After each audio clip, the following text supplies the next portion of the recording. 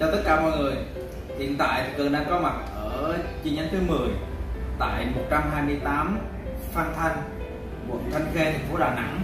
Chi nhánh thứ 10 này sau một thời gian thì nó cứ kéo đi kéo lại cái thời gian khai trương Tại vì tình hình dịch nó cứ diễn biến phức tạp quá Và vấn đề nhân sự nữa. Nên tới giờ phút hôm này Ngày hôm nay Cường mới có mặt ở thành phố Đà Nẵng lúc 2 giờ chiều.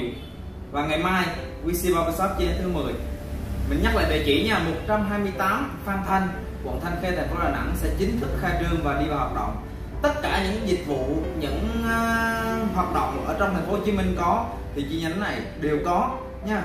Và cần rất mong mọi người sẽ ủng hộ cho WC Barber Shop chi nhánh thứ bảy này.